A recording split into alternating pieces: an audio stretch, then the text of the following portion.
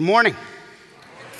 Uh, my name is Mark Burkholder. I'm the worship pastor here at Hollywood Community Church. It is truly a privilege. It's a privilege every time to come meet with you guys on Sunday mornings when I get to open up the Word and share it with you. It is so exciting. Today is an exciting day, is it not? Today's super, super exciting. I mean, that Burkina Faso team going out today just feels like it's a culmination of so many emotions over the past few years. The, this passage that we're going to be looking at is incredible. Most importantly, in a few hours, we get to nap. That's huge. I'm so excited about that. Before we start, I'm asking you guys to be patient with me. I am uh, growing a beard. As you can probably tell, a little bit of shadow on my face. It's going to take me a while because my last name is Burkholder. We really, really struggle in this category. Uh, my goal is when I'm a grandparent to be able to dress up like Santa Claus. So I figured I needed to start now in order to get to that point, now that I've had a child. So we'll get there eventually. I actually, um, I had the first benefit of a beard this morning. I found a crumb in there an accident. It was a nice little snack. The problem was I didn't eat breakfast, so I'm not sure how long it's been there. Um, but again, we are so happy that you're here. And today's passage truly is incredible. I don't know about you guys, but I have been so blessed by this study of Exodus. It has been so awesome to go through, hasn't it? It's been wonderful. I, am guilty of reading Exodus in the past like a history book. And it's been so cool to go through these passages and not only see the incredible history that it talks about, but how it has a much greater message than something that happened. Some, a, a way that we've illustrated it um, in some of our meetings is with a watermark, all right? I have a dollar in my pocket. I know what you're thinking. I'm a pastor, I got money everywhere. I'm not sure I borrowed this from a college student, so You'll get it back afterwards, don't worry, all right? But with money, whenever you go and you pay, maybe not with a dollar, maybe with a 20 or a 100 or something, they take it and they lift it up to the light, and what are they looking for? They're looking for a watermark, right? They're looking for a, a hidden symbol that gives it or that makes sure that it is of value. That's what we're doing throughout the study of Exodus. As we look through Exodus and we turn through the pages of Exodus, we're looking for another message than what is plainly there a message of the Passover lamb a message of Christ. And we're going to be doing that again today. A quick recap of what we looked at throughout this book so far. The Israelites are in Egypt. They've grown in number greatly and then have been put in bondage by the Egyptians. In order to control the number even more, Pharaoh has now tried to kill all of the young boys, all of the young Hebrew boys. Moses is able to escape this, and he's, he's able to escape this via an, an ark, is what the Hebrew word is an ark that is placed in the river, and he's gone, and the Pharaoh daughter, Pharaoh's daughter, finds him. Moses, we see, is raised then in royalty. All right? He's weaned by the Hebrew people. He learns the Hebrew traditions, but then he's raised in royalty by Pharaoh's family. Then Moses has a decision to make whether he's going to stay in royalty or whether he is going to identify himself with the Hebrew people and join them in their suffering. And in that, in that decision, Hebrew tells us that he made a decision of faith to give up the benefits of royalty and to meet the Hebrew people where they were. So he gave up the riches of the throne and took on the pains of the Hebrew nation. He then uh, he left and fled to Midian for several years, and while he was there, God called him, and he called him in the means of a burning bush, a bush that was um, being consumed perpetually by fire. And it was in this thorn bush, this, this bush of, of fire that is symbolized in pain, that God is. And God calls Moses to an incredible task, an incredible mission a mission that Moses isn't to accomplish on his own power, but rather a mission that he is to accomplish with the power of God. We talked about last week the incredible signs that God showed Moses, and he showed him these signs via his staff. As Moses takes, as we'll read in a little bit, that staff, it symbolizes God going with him. Today's passage is going to continue with this thought, and it is going to be powerful.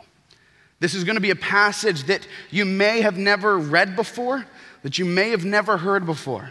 It's oftentimes skipped over by a lot of pastors, skipped over in our study. I confess I've read it several times, but haven't truly understood what it is discussing.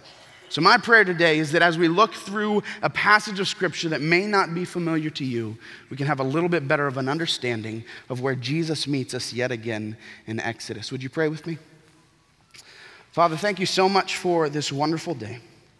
We thank you for the opportunity to come before your throne and worship. We realize that we are so unworthy to commune with a holy, righteous, sovereign Father, but you have called us as your children. So we eagerly approach your throne and worship. Father, I'm humbled by the task that you've given me this morning to teach a difficult passage of Scripture to illuminate the eyes of this congregation to see you in the context of Exodus 4. Give me the words to say. Allow Mark to get out of the way so your spirit can transform. We love you and we praise you. In Jesus' name, amen. Today we're going to be in Exodus chapter 4, and we're going to read verses 18 through 31. Exodus chapter 4 verses 18 through 31. If you have your Bibles, go ahead, pull them out, flip there. iPhones, iPads, whatever, go ahead there. It will also be on the screen. Please follow along as I read. So Moses has just been called at the burning bush. Then Moses went back to Jethro, his father in law, and said to him, Please let me go back to my brothers in Egypt to see whether they are still alive. And Jethro said to Moses, Go in peace. And the Lord said to Moses in Midian, Go back to Egypt, for all the men who are seeking your life are dead. So Moses took his wife and his sons and had them ride on a donkey and went back to the land of Egypt. And Moses took the staff of God in his hand. And the Lord said to Moses, When you go back to Egypt, see that you do before Pharaoh all the miracles that I have put in your power. But I will harden his heart, so that he will not let the people go. Then you shall say to Pharaoh, Thus says the Lord, Israel is my firstborn son. And I say to you, Let my son go, that he may serve me. If you refuse to let him go, behold, I will kill your firstborn son. This is then where our sermon will begin today.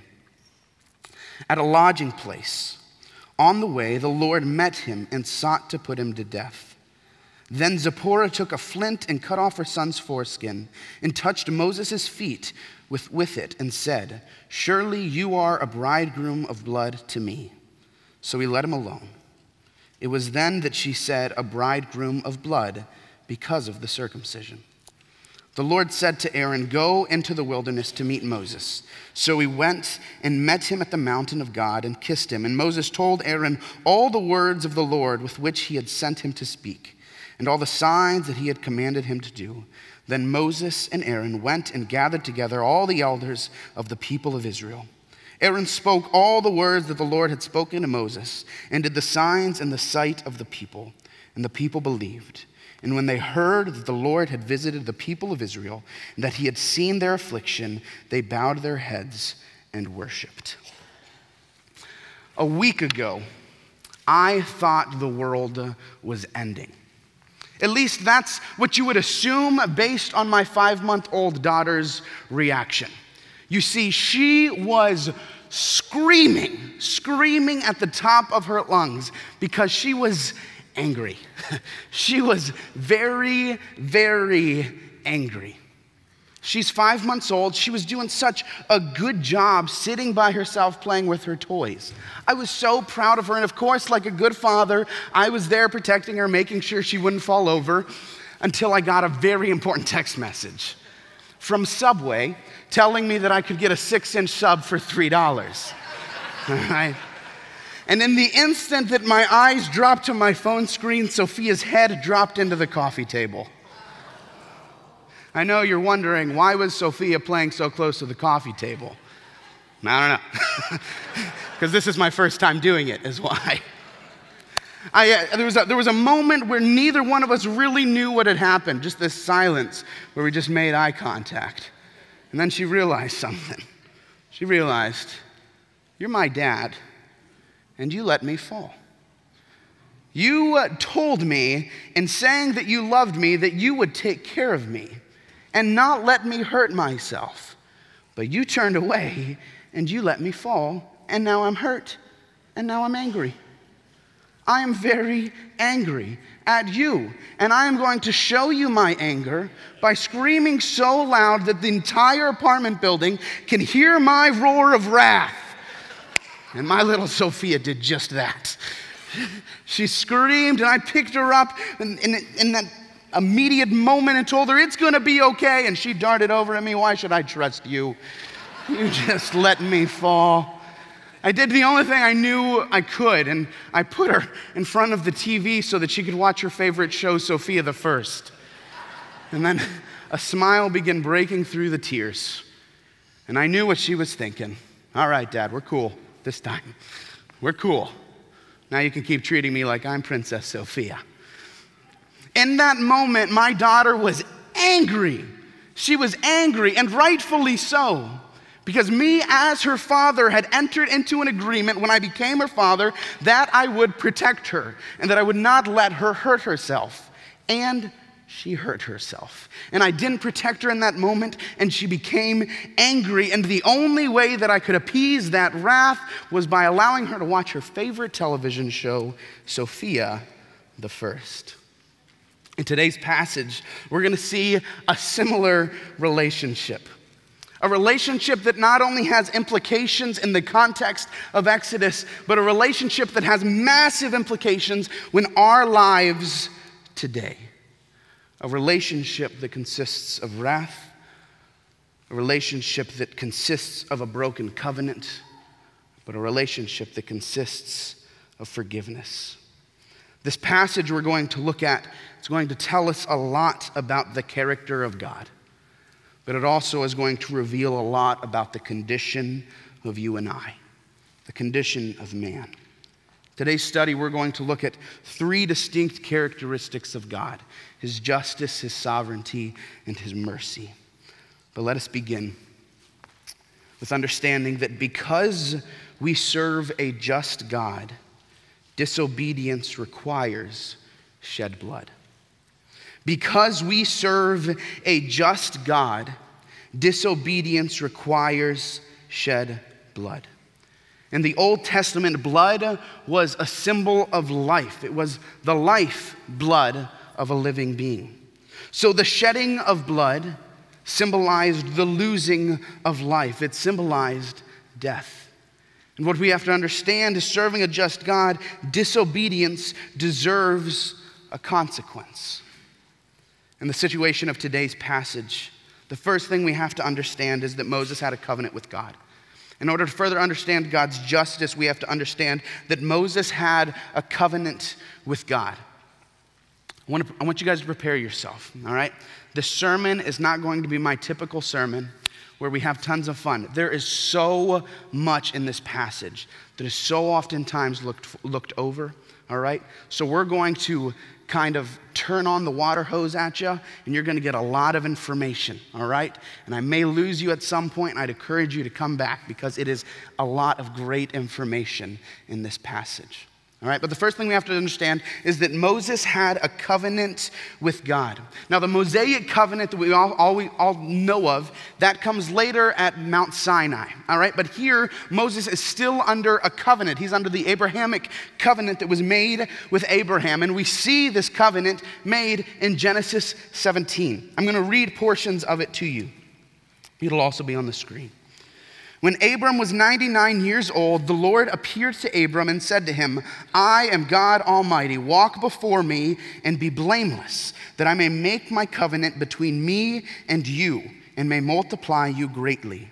And I will establish my covenant between me and you and your offspring after you. Moses, throughout their generations, for an everlasting covenant, to be God to you and to your offspring after you.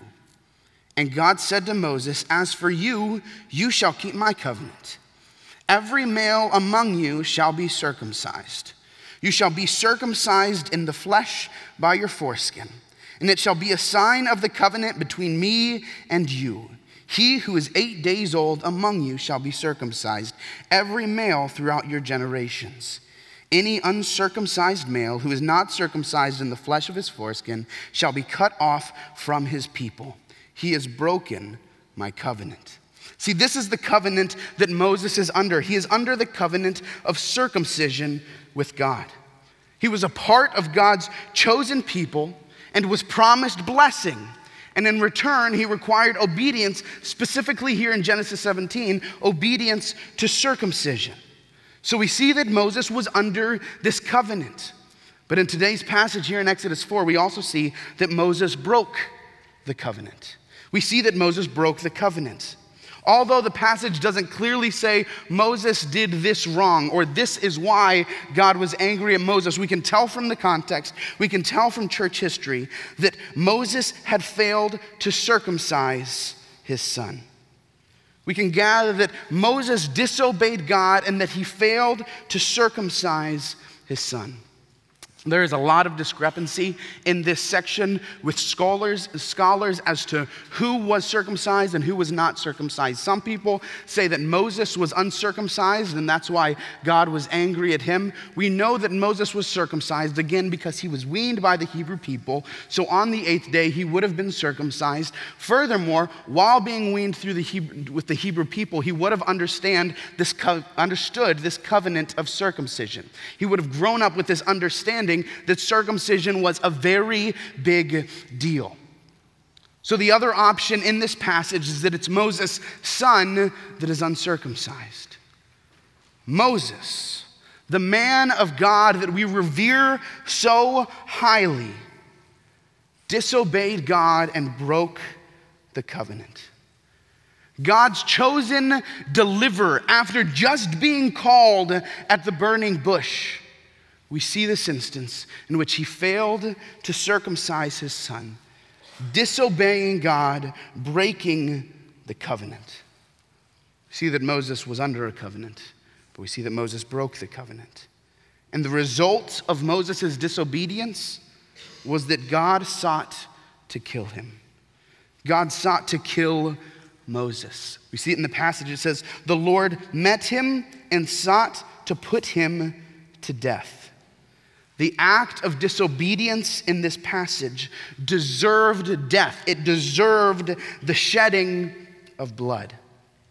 If God simply allowed this to happen, allowed to go allowed Moses to go on without circumcising his son, then he would not be a just God. He would not be a God of his word, but rather he would be a God of lies who did not back up his word. But we serve a just God who requires obedience. And Moses disobeyed. So the consequence was that God sought Moses' life.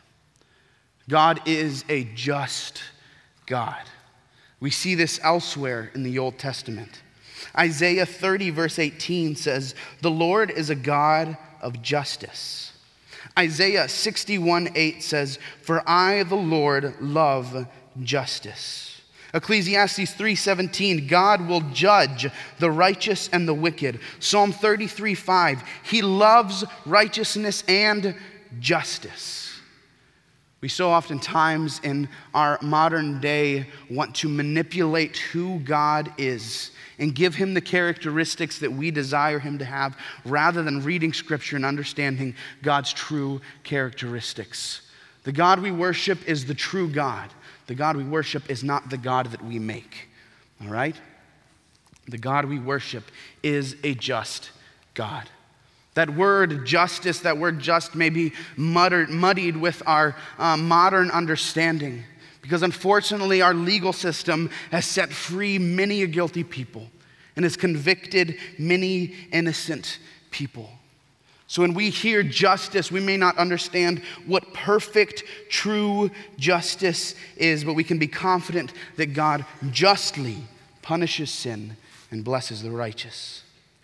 Supreme Court Justice Horace Gray once informed a man who had appeared before him in a lower court and had escaped conviction on a technicality. This is what he told him I know that you are guilty, and you know it. And I wish you to remember that one day you will stand before a better and wiser judge, and that there you will be dealt with according to justice and not according to the law. You see, we serve a wiser judge. We serve a God of justice, and a just God requires a shed blood for disobedience. He did in the context of Moses, and he continues to require death for disobedience. Romans chapter 6, verse 23, a well known verse, starts off by saying, For the wages of sin are death the consequences of your sin is death. Romans 5:12 says, "Therefore just as one sin came into the world through one man, and death through sin, death being a consequence of sin has spread to all men because we all have sinned." Our sin leads to death. And in our disobedience, God seeks to put us to death.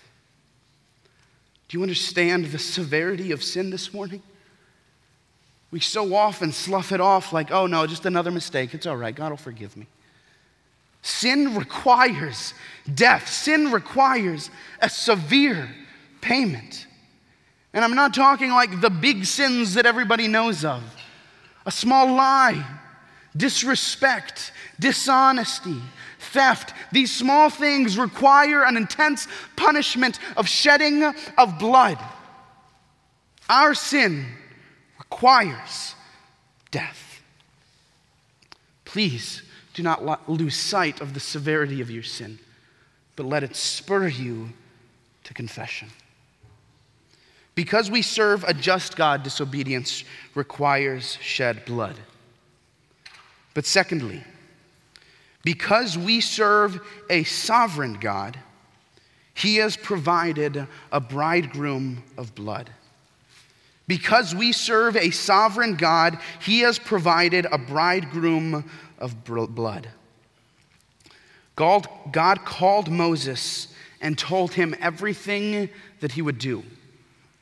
At the burning bush, he went through and, and, said, These are the signs you're going to do. And then the passage we just read, he said, You're going to go to Pharaoh, you'll perform these signs. I'm going to harden his heart. He's not going to want to. You're going to threaten his firstborn son. All right, he, he lays out the events of what's going to happen. That is, that is God's sovereignty saying, This is what's going to happen. And then in the very next verse, it says that God sought to put him to death. So which one is it? Are you going to use Moses to accomplish these wonderful things? Or are you going to put Moses to death? You see, in God's justice, like we just said, he could not let Moses escape without the shedding of blood. But he also had called Moses to something greater. He had these two seemingly contradictory outcomes, and in his sovereignty, he merges them. In order to realize how he does this, we first have to realize that God's wrath is appeased by blood. God's wrath is appeased by blood. It is as the blood is wiped on Abraham's foot that God lets him go. See, it's the blood that turned away God's wrath. The idea of, of blood covering someone's disobedience, or the idea of blood providing life in the midst of certain death, is not new to Scripture. Even here in Exodus, which is just the second book of the Bible, we've already seen it several times. You guys know the story of Adam and Eve. Adam and Eve ate of the fruit in which they were commanded not to. They sinned. And in that moment, they recognized their nakedness and they were ashamed. And they made, they made temporary clothings of fig leaves, which were very temporary. But in God and his dealings with them, he killed an animal, shed blood, and provided them with clothings of animal skin, a much more permanent covering. See, in their sin, there was shed blood that resulted in a permanent covering of their nakedness. We also know Cain and Abel. Cain and Abel, they both presented sacrifices to the Lord. Cain's sacrifice was of vegetables and fruit, and Abel's was that of an animal, shed blood. And we see which one God prefers. God preferred Abel's sacrifice of the shed blood. We also know the story of Noah. The world was covered in sin, and in the sin, what did God require? God required shed blood. Story of Abraham and Isaac. God calls Abraham to go and sacrifice Isaac, and as, as he is about to do so, God provides a ram. And it is the ram's shed blood that then gives Isaac new life. We see this passage here. We can also even talk about Joseph. Joseph in the coat of many colored, colored colors. It was his tunic that was covered in blood, and it was him that provided salvation for his entire family in the midst of famine. You see, up to this point, this is already a reoccurring theme that shedding blood provides new life. In a few weeks, we're going to talk about the incredible story about the Passover, where they were commanded to, to put blood above their door post so that the angel of death would pass over them. The covering of blood to provide life. All of these instances, including the one we're discussing today, point to something much greater. They point to the shed blood on the cross that provides you and me with newness of life. This idea of blood being an appeasement of God's wrath is what we call a propitiation. We use that word propitiation. And when we say that Christ is a propitiation for us, that means that he appeases the wrath of God.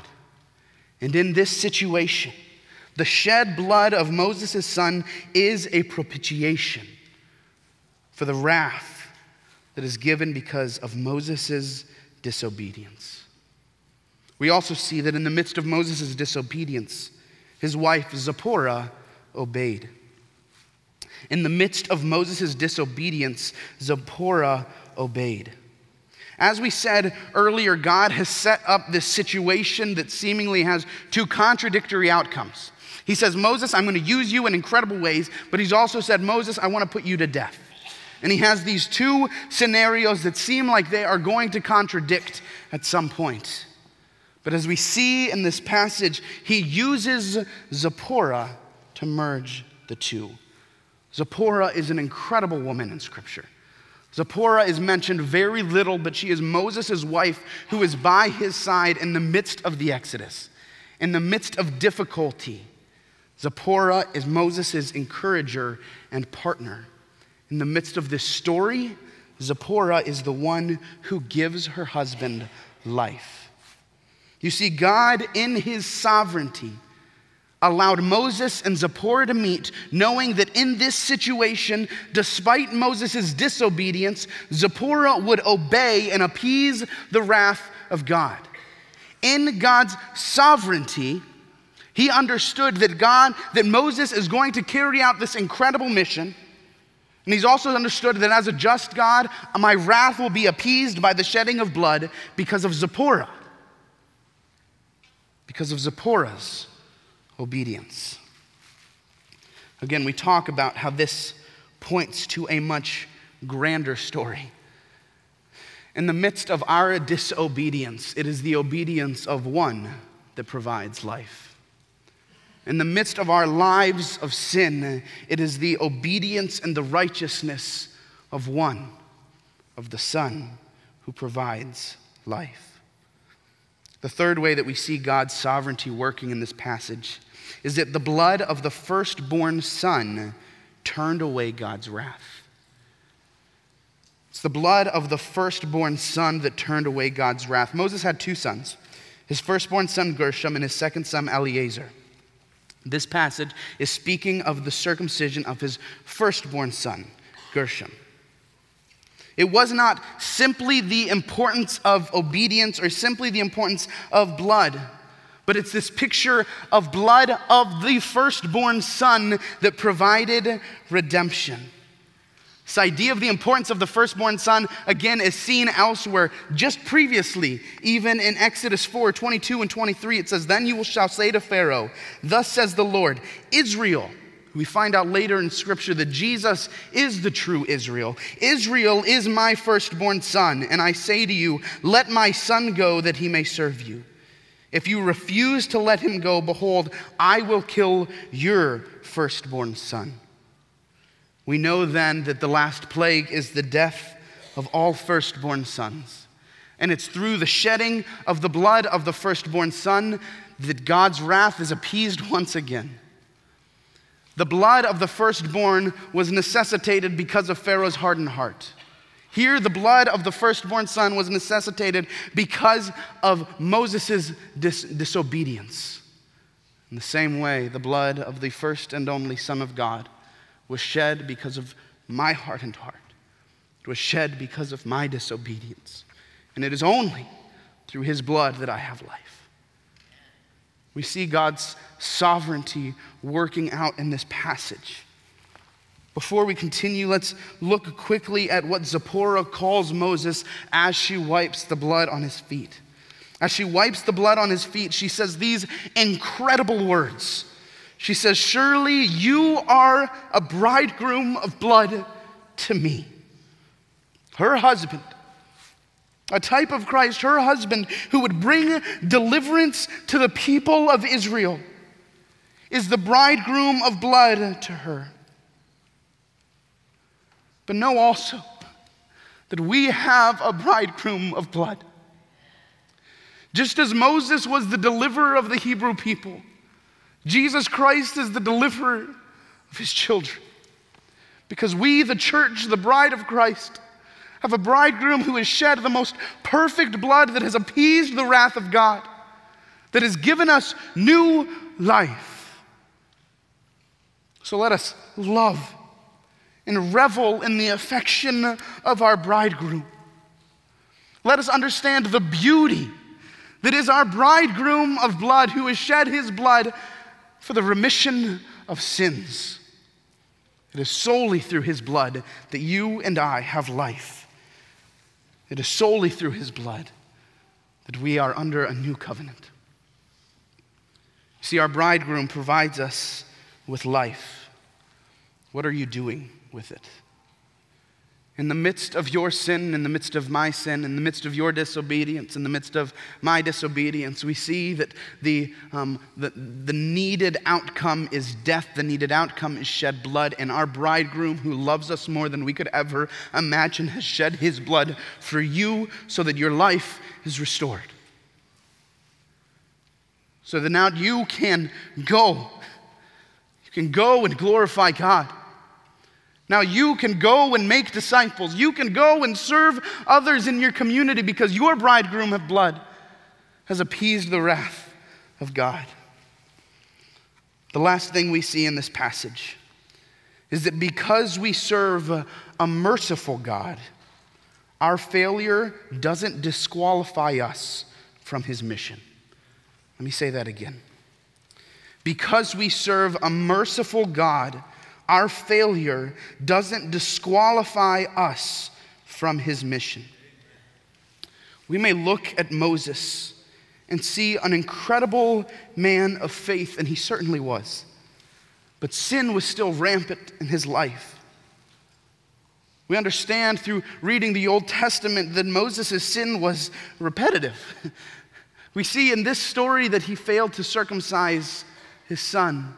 But then later in Joshua chapter 5, we find out that Moses failed to circumcise an entire generation of Hebrew people. Moses continued in this lack of understanding of the importance of circumcision. He continued in this disobedience and this lack of faith. Yet God used him in incredible ways. You see, Moses' continued sin of disobedience and even anger did not refrain from God using him in incredible ways to deliver his people from the bondage of Egypt. Despite his disobedience, God allows Moses to continue with God's mission. We also see that Moses is allowed to continue with God's mission. That, that, that second part of the passage that we looked at today, we're going, we're going to call, talk about Aaron's call again. But, but you notice that the passage we're looking at today is somewhat of an aside. We see that, that God sought his death, there's a shedding of a blood, and then God's wrath is appeased. And then in the very next verse, Moses is going doing his calling. You see, there wasn't a time when Moses wept and said, God, wait a minute, do you realize what I just did? If you only knew my past, you would not be using me. If you only knew my sin, you would not be able to use me. No. Moses, in a moment of redemption, goes to be used, and we see the result in Exodus 4:31. And the people of Hebrew believed. And when they heard that the Lord had visited the people of Israel, and that he had seen their affliction, they bowed their heads and worshiped. You see, your effectiveness for the mission of God is not based on you. It's not based on how good of a person you are. It's not based on how, how much people respect you. It is based on the power of the Holy Spirit. It is based on the message of God. See, Moses, although man of faith, was a man of sin. And God used him in incredible ways. God used a man of sin to bring about a nation to worship him. And I, I played football in high school, loved the sport. Um, I played center on the offensive line. It was fantastic.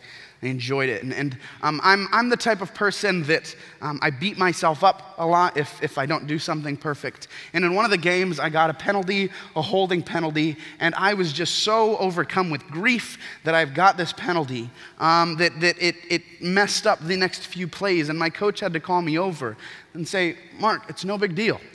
It's done. Move on. That's what's happening with our sin. Yes, we, we, we may have a past. I don't know what you've done, you don't know what I've done. But I know that through Christ's love and through his shed blood, I have a new life and can continue my mission for God. No matter what you've done, God desires to use you in incredible ways.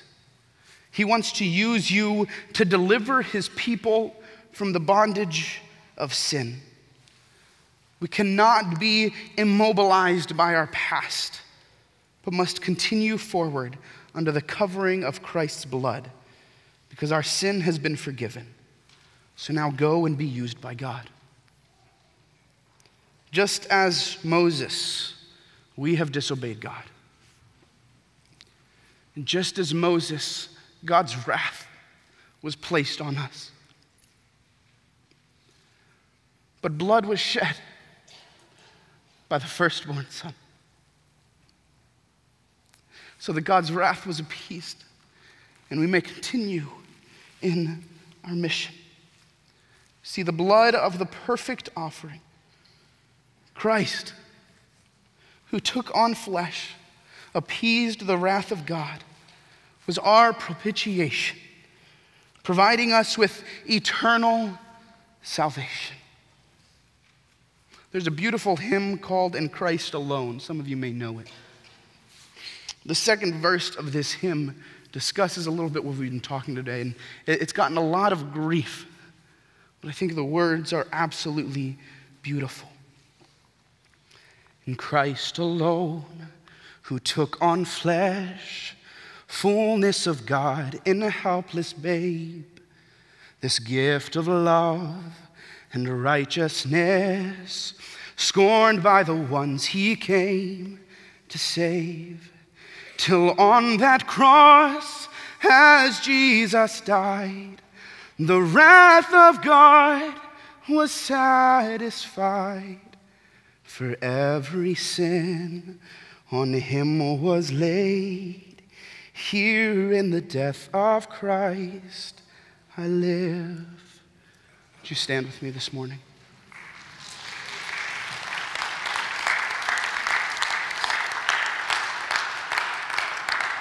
You see, in Christ's death, we now live. If you have yet to place your faith in Jesus Christ, I want you to understand the severity of what's happening. That we, as men and women, have naturally sinned against God. And that in serving a just God, he requires the shedding of blood. If you haven't placed your faith in Jesus Christ, that's where the story is right now for you. I hate to say it, but your outcome is death right now. Your outcome is your blood being shed. But the story doesn't end there. The story continues to the cross The picture of death that shed was that the blood was shed on as a covering for your sin. And God is calling you as his child to be covered by that blood. Are you going to do so? For those of you guys who have placed your faith in Christ, don't lose sight of the magnitude of our sin. Don't lose sight of the magnitude of what has happened. That our sin requires death, but we have a loving God who provided his firstborn son to shed his blood solely out of love for you. That in that love and in that death, we have life. A life is restored because of our bridegroom of blood.